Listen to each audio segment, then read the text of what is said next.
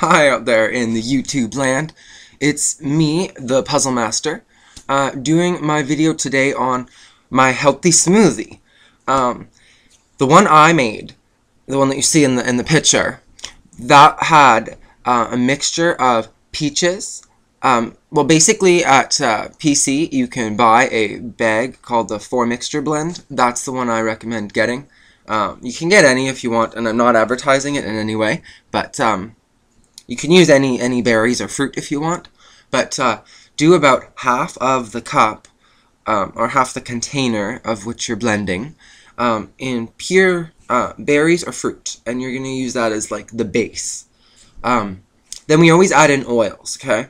Because like oils are what have the calories, and oils are what are going to make the smoothie in from a little snack to more of a meal. Um, you can do this by adding uh, coconut oil, very good oil, um, red palm oil, awesome oil. They're both awesome, okay?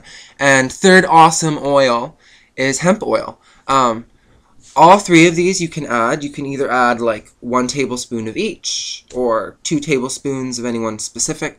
I wouldn't recommend adding more than three tablespoons.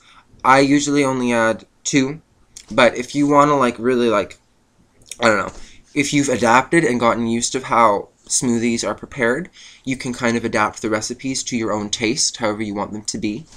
Um, then if you want to, to, throw in some more health benefits besides the oils, which uh, that's like its own category, I consider. Um, for just health benefits, you can add goji berries, really high in antioxidants and amazingly good for you. If you just look up goji berries, you'll find lots of information on that. Um, I usually also add in a couple of dates or a couple of prunes. Uh, one of one one or the other. I don't uh, just as a sweetening agent instead of adding more sugar or like adding any sugar, I should say, um, to this mix. If you add in dates or prunes, they have their own natural sugars in them.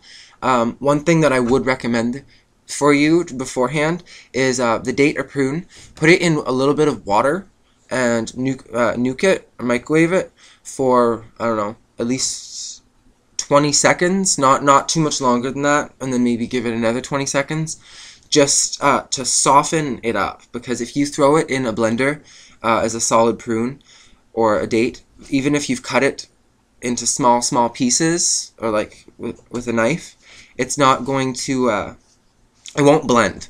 So if you microwave it, or just leave it overnight soaking in water or something if you want to do that, if you're against microwaving it, I, I don't see a problem in microwaving it. It's faster.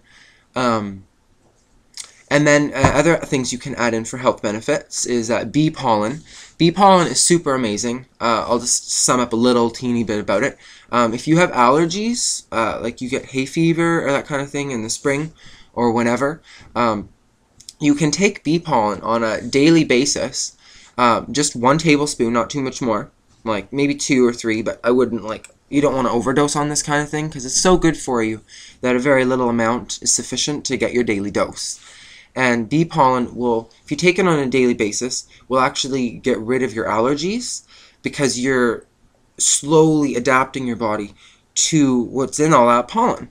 And that's the simplest way I can explain it. But if you, if you look up bee pollen, um, you'll find that they, they there is discussion on that, that it helps with allergies, and it's really good for energy and um, trying to remember other things about it. It's a whole protein, so just adding some bee pollen into this is actually throwing in protein, and it's uh, I think it has every or has all 20 amino acids that we need.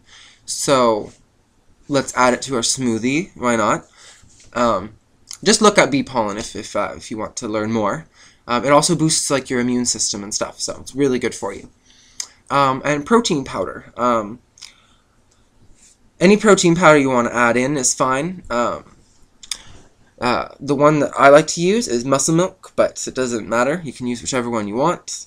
Um, and then I just top it up with uh, milk or water or, or, cream. You can even use cream, depending on your taste.